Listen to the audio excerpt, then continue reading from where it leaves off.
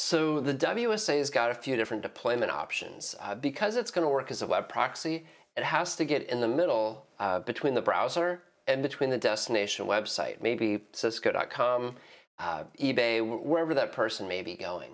So when the client connects to that web server, you or I, while running the WSA, we've got to find a way to get their traffic into our proxy. And this brings us back to the two concepts from the last module, uh, which were explicit proxy mode versus transparent proxy mode. These are pretty cool. Let's take a look at them. So when we talk about transparent proxy, what we're doing is we're taking the user and we're steering them into the WSA and they don't really know anything about that happening. It's out of their control. They could look at all of their settings and options on their computer and it doesn't look like anything special is happening. However, leveraging things like policy-based routing, uh, leveraging things like WCCP, leveraging layer 4 through 7 redirection supported on some switches and routers, we can grab individual traffic flows and say this traffic should be passed over to this other device. So it's a redirect that's happening in line by intermediate hardware. Hope that makes sense. Um, when we take a look at using like policy-based routing or web cache content, uh, it's web cache communication protocol. Um, let me double check that one. Yes, web cache, uh, web cache control protocol, sorry. Uh, the web cache control protocol versus PBR, in either scenario, what these guys are going to be able to do for us, take a look at the traffic that's passing across the network. And like with PBR, for example, a lot of times we might just be using something like an access control list to identify individual traffic flows. And we go, okay, if you see traffic from this source to this destination, pass it over there.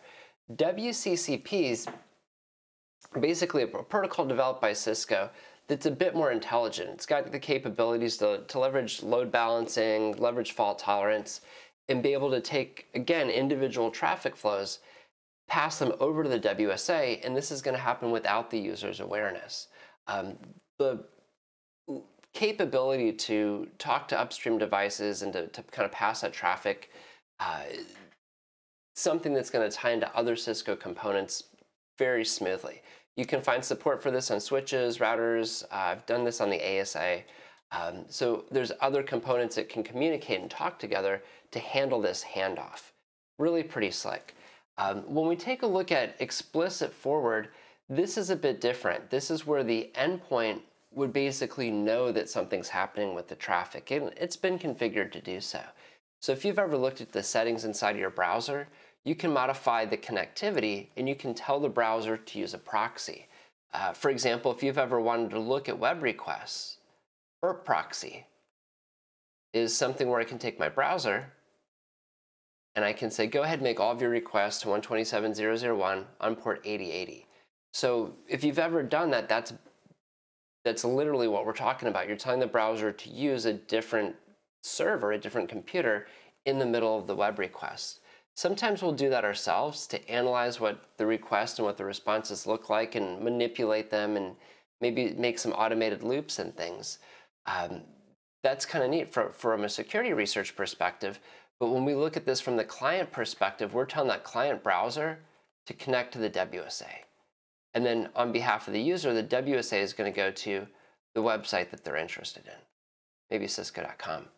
Um, that's where the browser is configured. Now, alternatively, we can leverage uh, a file called a PAC file that's for uh, configuring the proxy automatically. The prox those PAC files uh, can be pretty easily deployed. Most uh, endpoints, most workstations are going to support the use of a PAC. Uh, just depends whatever works right for the organization. Again, that, that client browser is just going to have a, a URL inside of it, and it says retrieve this configuration file from this location. The configuration file is just going to tell it how to communicate uh, with the WSA. So in that explicit deployment mode, the client is intentionally connecting to the web proxy. Client connects to the proxy server. The network device doesn't have to have anything to do with this. It's just routing packets as normal. So no additional configuration on switches and routers. This is just between the end user and the WSA. Um, those PAC files that I mentioned, uh, this is a way, again over here, Under your LAN settings for Windows, and of course other operating systems support this as well, but we're going to say we want to use an automatic configuration script. What we're doing here is putting the URL of where that PAC file can be located. Uh, once we download the PAC file, it's going to tell us how to perform um, communication with that proxy server. Now, there's another way that you can deploy this, which is kind of neat, uh, and that's just called automatic PAC file uh, detection. So this is supported on some platforms if they support WPAD. If you haven't heard of WPAD, it's Web Proxy Auto Discovery, and this can actually be passed out leveraging DHCP.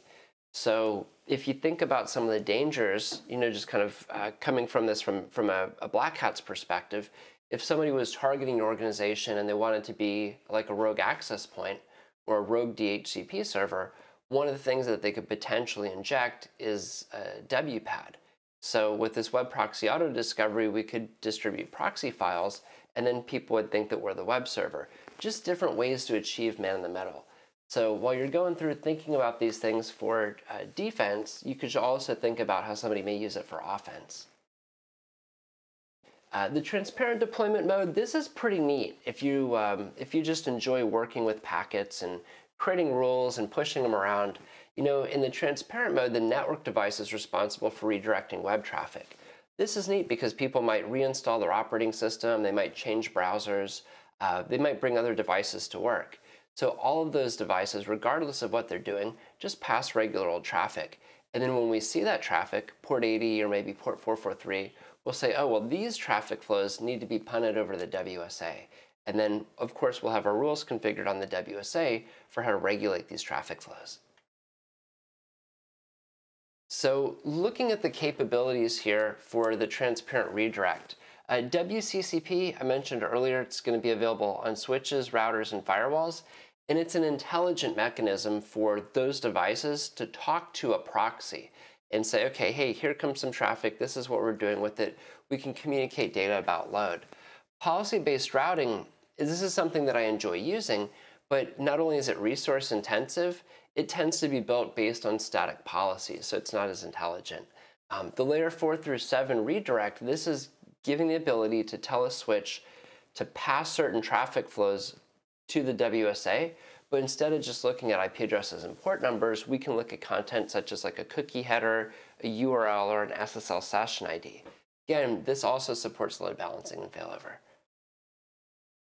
So web cache content control, I'm sorry, web cache control protocol, I want to keep throwing content in there, uh, is a content routing protocol that transparently redirects traffic flow in real time from a network device, so again, intermediate, not from the client, without the user's awareness. Again, the cool thing there, no uh, user configuration required.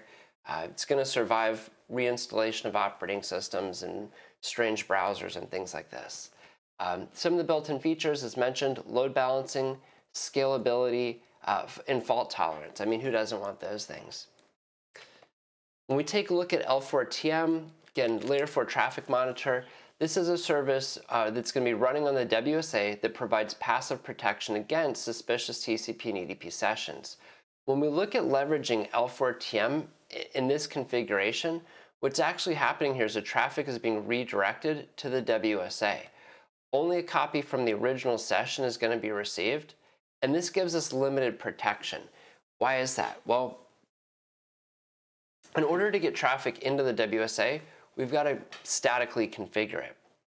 Um, if we're not pushing it to the WSA, it's never going to get a, chance to get there. So here comes our packet. As the packet comes into the switch, a copy of the traffic goes to L4TM. Unfortunately, the rest of it just keeps going on by. We may not know anything. Notice that the response doesn't necessarily have to come back through us. So in order to tear this down, we don't have the same level of control like with man in the middle. So what we can do is try to tear a session down using TCP resets or generating ICMP host unreachables. Um, this is kind of what we saw in classic scenarios with intrusion detection, where it was kind of sitting there over there on the sidelines. Um, there are scenarios where this would be appropriate. Um, I know a lot of times customers are a little bit hesitant about deploying new security technologies. They want to see how they're going to behave or how they're going to react before they put them in line. It's a great argument for it. Um, sometimes people are against additional points of failure. Um, again, this gives you the additional uh, visibility without necessarily forcing all traffic to go through it. So the WSA supports high availability, uh, running both in transparent and explicit modes.